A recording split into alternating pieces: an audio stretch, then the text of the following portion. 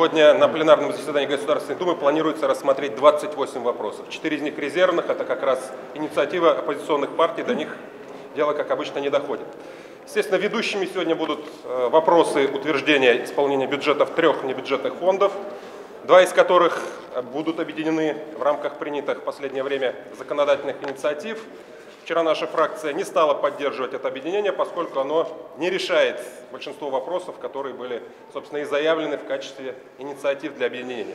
Сокращения штата не будет и не предполагается. Э, появилось большое количество разных льгот, которые мы, к сожалению, не видели ранее, потому что они были спрятаны среди строк на содержание обоих фондов и ими пользовался очень узкий круг лиц. Речь идет о предоставлении жилья, речь идет о предоставлении дополнительной медицинской помощи, санаторно-курортного лечения.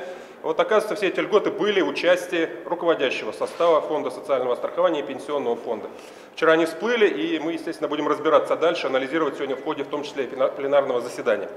О фонде пенсионном подробнее расскажут мои коллеги, точно так же, как о фонде социального страхования. Я хочу сказать о фонде обязательного медицинского страхования. Этот фонд сегодня практически на две трети финансирует, обеспечивает государственное финансирование российского здравоохранения. Естественно, он недостаточно. Мы об этом говорим неоднократно. И даже в рамках пандемии, к сожалению, тех средств, которые были выделены, крайне недостаточно на обеспечение нормального уровня медицинской помощи. Я напомню, что по рекомендациям Всемирной организации здравоохранения для того, чтобы уровень здравоохранения более-менее соответствовал современному уровню, надо тратить не менее 7% ВВП. Российская Федерация, несмотря на ковид, тратит сегодня не более 4%, причем финансирование это снижается с каждым годом. Еще раз повторю, что львиной долей этого финансирования является финансирование из фонда обязательного медицинского страхования. Второй момент.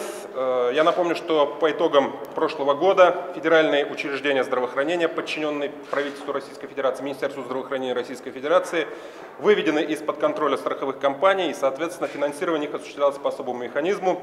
После проверки счетной палаты выявлено огромное количество нарушений, связанных с предоставлением помощи одному и тому же застрахованному одновременно в двух лечебных учреждениях, с пересечением, с нарушением сроков, с неоднократной госпитализацией. Естественно, это должно быть устранено в этом году. Соответствующие замечания мы предоставили, и об этом же сегодня будем говорить и рассказывать в рамках э, утверждения законов об исполнении фонда за 2021 год. Сегодня же будет рассмотрен закон о ветеранах, точнее внесении изменений в закон о ветеранах, широко рекламируемый о предоставлении льгот.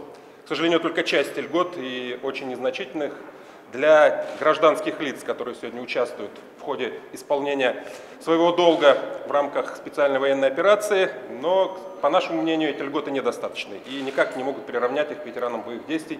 То же самое об этом скажем в ходе обсуждения. Я дам оценку по положению российских пенсионеров в целом, хотя эти решения зависят от, не только от пенсионного фонда, но прежде всего от политики правительства Российской Федерации. Начну с того, что в свое время Алексей Леонидович Кудрин в Государственной Думе заявил, что у нас нет бедных пенсионеров. Я думаю, пенсионеры бы очень удивились. Алексей Леонидович исходил из того, что э, все пенсионеры получают пенсию на уровне прожиточного минимума пенсионера. Правда, забыл добавить, что вообще-то в России прожиточный минимум является непрожиточным, а для пенсионеров он ниже, то есть он является непрожиточным вдвойне. На всякий случай напомню, что сейчас там порядка 15 тысяч у нас установлено, э, установлен этот размер, но по данным э, Федерации независимых профсоюзов России минимальный потребительский бюджет должен составлять около 42 тысяч рублей в месяц. Теперь о том, как индексировались пенсии в последнее время. Мы, конечно, поддерживаем решение о так называемой доиндексации пенсий за 2021 год.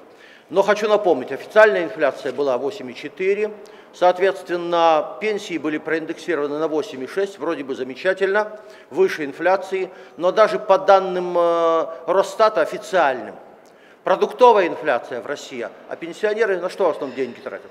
На продукты, еще на коммуналку. Так вот, продуктовая инфляция превысила 10,6%. По данным э, независимых экспертов, там некоторые насчитывают до 22% продуктовую инфляцию за прошлый год, поэтому реально пенсионеры в 2022 году после доиндексации оказались беднее, чем были в 2021.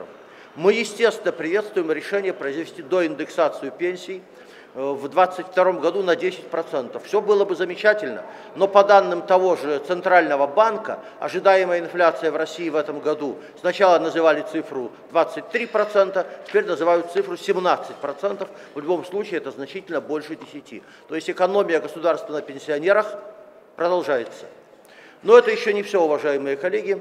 Я напомню, что в Российской Федерации происходит повышение пенсионного возраста, несмотря на наше отчаянное сопротивление.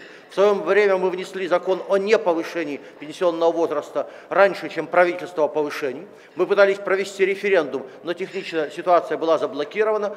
Мы убеждены, что повышение пенсионного возраста отчасти объясняет то, что мы не рассчитались за прошедший год миллиона человеческих жизней. Да, в основном это пандемия, но и повышение пенсионного возраста тоже. 60, 43% всех мужчин в России не доживали до 65 лет, сейчас будет не доживать еще больше.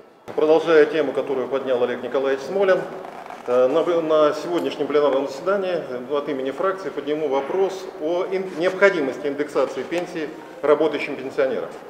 Только за прошлый год э, число работающих пенсионеров сократилось на 380 тысяч человек.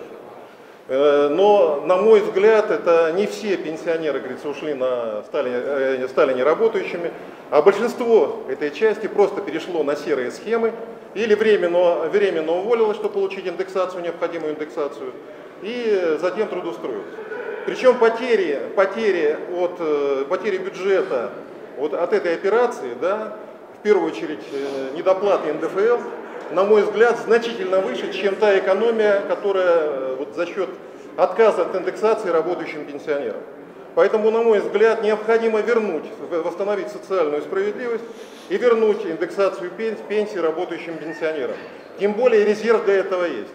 Только за прошлый год, только за прошлый год официальное число получателей э, пенсий, всех получателей пенсий по стране, сократилось на 1 миллион 40 тысяч пенсионеров. Поэтому средства, которые необходимо э, на индексацию есть. На комитете мы этот вопрос уже рассматривали. В принципе, на комитете по социальной политике и делам ветеранов, э, в принципе, и фрак, позиция фракции, представителей фракции Единой России к этому тоже склоняется. Почему правительство, ну, правительство продолжает давать отрицательные, отрицательные заключения на представленный законопроект, который э, готовили мои коллеги. Поэтому тема очень важна, и мы сегодня на заседании, э, на заседании этот вопрос обязательно поднимем. Я в дополнение э, к своим коллегам скажу, что правительство определило еще э, две категории, наверное, населения, которые позволяют ей значительно экономить. Кроме как на пенсионерах, еще экономят на женщинах, особенно беременных женщинах, на детях-инвалидах и детях-сиротах. Особенно фонд социального страхования наверное, в кои-то годы имеет профицитный бюджет, как и в целом бюджет Российской Федерации. Вы, наверное, сильно удивитесь, потому что профицит бюджета Фонда социального страхования составил 111 миллиардов рублей. И, как ни странно, это объясняется пандемией. Оказывается, в пандемии не надо было платить врачам, не надо было платить медсестрам, не надо было платить беременным женщинам, не надо было э, оплачивать санаторно-курортное лечение и средства технической реабилитации инвалидов. Поэтому, учитывая то, что работодатель э, выплатил 101% застрахованных взносов. Учитывая то, что из федерального бюджета получено 500 миллиардов рублей, 111 миллиардов вполне можно было бы направить даже на индексацию пособий. Индексация составила только 5,4%. Если сходить в магазин и посмотреть, э, какова инфляция, то э, очевидно, что эти цифры, мягко говоря, никак между собой никак не корреспондируются. Что касается э, санаторно-курортного лечения, этим как раз занимается фонд социального страхования, компании. Я скажу вам, что у нас ну, взрослые пожилые люди, которые имеют право на санаторно-курортное лечение, получают такую путевку один раз в 4 года. То есть, если тебе там 75 или 80 лет, то ты можешь эту путевку уже больше никогда и не получить. Не удивляйтесь, но ребенок имеет право на получение путевки, тоже ребенок-инвалид, всего один раз в 3 года. Вот тебе и реабилитация. Поэтому вполне можно бы направить эти 111 э, миллиардов рублей, которые перейдут на э, следующий год в общий уже слитый фонд, можно было бы направить, конечно, на организацию э, оздоровления детей-инвалидов, на организацию наших пожилых людей, чего, собственно, сделано не было. Но учитывая то, что у нас э, на 0,7% сократилась рождаемость, то, естественно, сэкономили и на том, что не надо платить женщинам по беременности, выплачивать страховые взносы. Но зато правительство подсуетилось и внесло законопроект, по которому сейчас предлагается в нарушение прав женщин, которые э, ухаживают за ребенком в возрасте до полутора лет и получают пособие из фонда социального страхования. Э, правительство внесло законопроект, в котором наделяет этих женщин право использовать только 50% рабочего времени, а следовательно получать только 50% заработной платы. При этом объяснение весьма э, странное такое, что э, женщины должны воспитывать своего ребенка. Но мы-то понимаем, что если пособие детское только 40% минимального прожиточного сейчас, то этих денег недостаточно, чтобы воспитывать своего ребенка. И женщина не от хорошей жизни идет на полный рабочий день.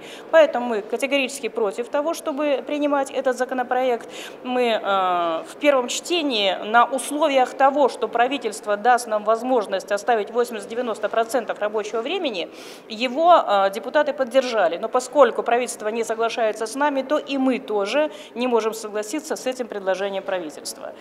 Еще э, один интересный законопроект, который только что обсуждался в нашем комитете, вот вместе с Алексеем Владимировичем, это законопроект о регистрации детей-сирот для того, того, чтобы они имели возможность наконец-таки получить жилье. Я приведу такую статистику. Счетная палата дает нам на сегодняшний день очередь на жилье детей-сирот 198 тысяч. При этом э, общее число детей-сирот, имеющих право на получение жилья 304 тысячи. Но, довожу до вашего сведения, на 29% увеличилось число детей-сирот, которым уже исполнилось 23 года, а они до сих пор не получили жилье. Поэтому сегодня наш комитет принял решение вынести этот законопроект во втором чтении, невзирая на то, что правительство до сегодняшнего дня не выполнило свои обещания и обязательства, не дало нам заключение на этот законопроект. Но мы его будем выносить на Совет Думы и на заседание Государственной Думы для того, чтобы в осеннюю сессию этот законопроект принять. Спасибо.